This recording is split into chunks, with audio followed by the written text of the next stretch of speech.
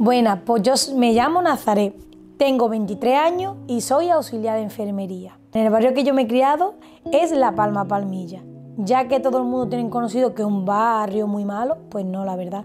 De este barrio salimos mucha gente con ganas de estudiar y con un buen futuro. Porque mm, yo te hablo por mí, ¿vale? Eh, a mí siempre me han dicho, yo no voy a tu barrio, Nazaret, porque en tu barrio roban, en tu barrio, vaya que me vayan, me voy a ir hasta sin la rueda. Eso es mentira. Yo prefiero quedarme aquí en Palma Palmilla por la noche sola que irme al centro y quedarme en el centro. Porque aquí tú, a lo mejor pega un chillo y tienes mucha gente que te sale a tu alrededor. En cambio, en el centro tú pega un chillo, te están haciendo algo, nadie sale a socorrerte. Pues mi infancia en Palma Palmilla, yo la recuerdo súper bonita, la verdad. Porque como en este barrio hay mucha asociación que hace muchas cosas por los niños, pues entonces, pues yo la recuerdo súper super chula, para decírtelo así, porque a lo mejor cuando era verano pues íbamos a la escuela de verano, entonces hacíamos muchos juegos, entonces teníamos ese, ese gozanillo de sí, que llegue el día siguiente a ver qué pasa. Entonces, pues la recuerdo muy bien, ¿no? Con, no sé cómo decirte, como motivada yo recuerdo una infancia motivada en el sentido de, que siempre había cosas nuevas, pues íbamos al colegio y aprendíamos algo nuevo, o en la calle hacían como campaña y ponían para pintarnos las caras, entonces pues muy, muy, muy bonita.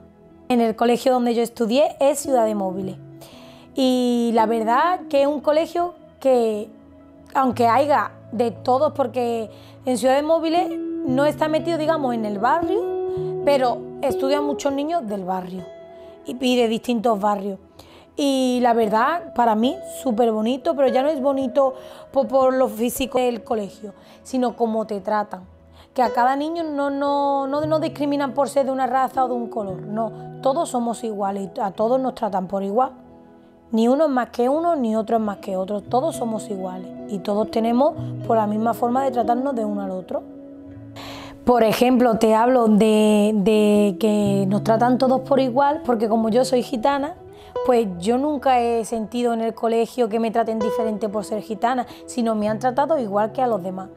Desde pequeña mi madre me ha dicho, Nazaret, somos gitanas, pero tenemos que marcar la diferencia, porque la cultura no hace a la persona, la cultura es tu cultura, pero la persona la haces tú. Y tú tienes que formarte para el día de mañana ser lo que tú quieras hacer. Y tú tienes que luchar por lo que a ti te guste y por lo que tú anheles. Entonces, a mí desde pequeñita siempre me han inculcado el colegio, estudiar. Y, ¿sabes qué? Esto hay una cosa que a mí siempre, siempre, siempre se me ha quedado en la mente. Desde que empecé en el colegio, ¿no? Eh, cuando yo me graduaba, yo me sentía muy orgullosa porque a mí cuando me ponían una banda y yo decía, lo he superado. Es una meta que tú te pones pero la superas. Entonces yo le cogí como el gustillo. Entonces yo seguí estudiando. ¿Por qué? Porque me gustaba que cuando llegara a la fiesta de fin de curso y mi gente viera que soy gitana y que yo tengo también la bandera que te ponen aquí, ¿no? La banda, perdón. Y decir, me lo he sacado. Es una meta que me la he propuesto pero la tengo. Entonces era como que me gustaba el, ponerme reto. Aunque te estoy hablando que también mi familia me inculca desde pequeña la educación porque es lo principal en una persona, también me enseña a ser una mujer gitana.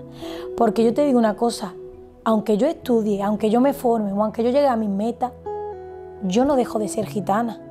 ¿Por qué? Porque esa es mi cultura, porque yo he nacido del vientre de una mujer gitana y eso es mi familia y yo a muy buena honra de lo que soy. Nunca me arrepentiré de decir soy gitana. Porque yo por las tardes, aunque a mí me gusta estudiar por las mañanas o trabajar, yo por las tardes voy al culto. Yo creo en Dios, porque sin Dios no somos nada, ¿no? Porque en este mundo estamos prestados, todo es de momento. Tú vives el momento, pero hay que ser buena persona. Y sobre todo tener a Dios en tu corazón, porque Él es el que te ayuda.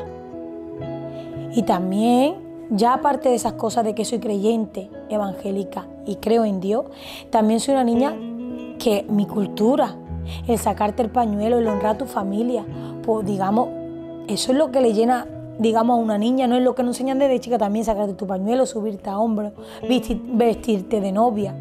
Yo la secundaria la estudié en Nuestra Señora de la Victoria. La verdad que también fue un instituto muy bueno, la verdad.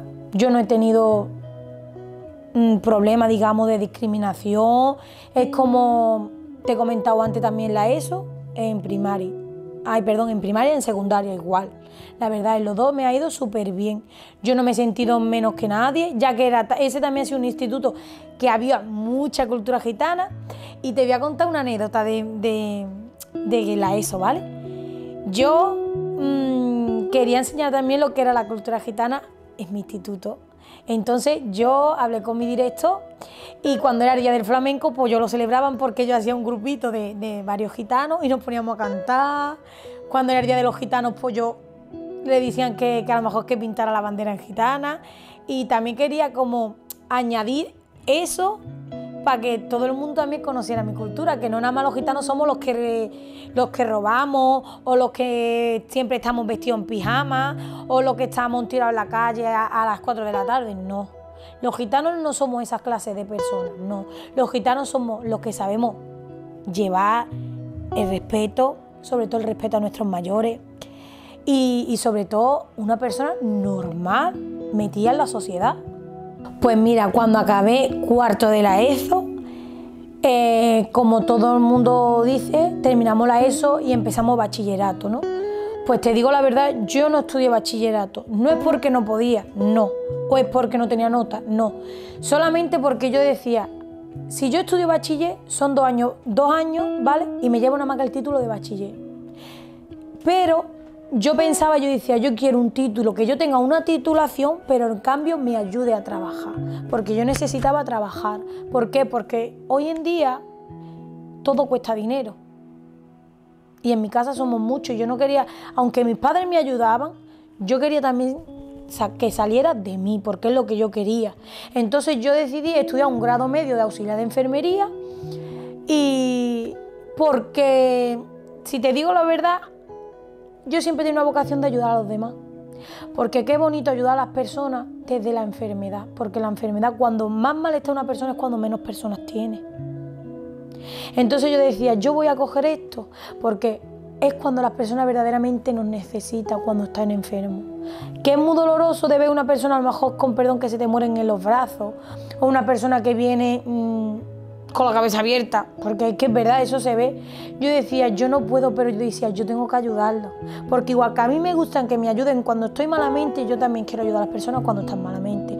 Entonces decidí coger, un grado medio para así terminar mi formación, ser profesional de auxiliar de enfermería, pero también podía trabajar.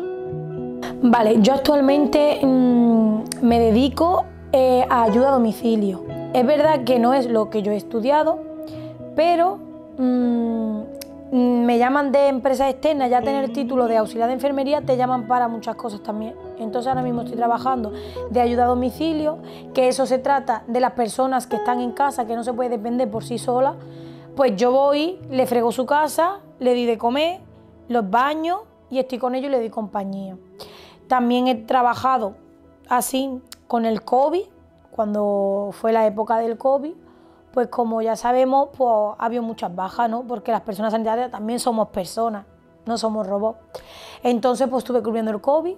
Es verdad que es una experiencia que da mucho miedo, porque tú no vas a pensar, yo he trabajado con el COVID, da mucho miedo, pero después es una como una experiencia que te hace valorar más la vida. Si hablamos de los prejuicios, hoy en día, por desgracia, hay muchos prejuicios que todavía no se ha cambiado en las mentes. ¿Y sabes qué pasa? Que nadie es más que nadie, pero ni menos que nadie.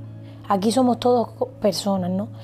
Y la verdad es que yo te digo estas palabras porque yo, por desgracia, cuando terminé la ESO y quise estudiar grado medio de enfermería, pues una persona, un profesor, no quería que yo avanzara, nada más por ser gitana. Porque le decía que le daba, me decía que le daba asco que una gitana estuviera en el hospital y fuera su enfermera o su auxiliar. Y yo te digo una cosa, es verdad que lo pasan muy mal, porque te sientes como más pequeñita en el sentido de decir por qué, por qué, sabiendo que soy gitana y que por culpa de la sociedad nos ven diferentes, ¿por qué tú también me tratas así?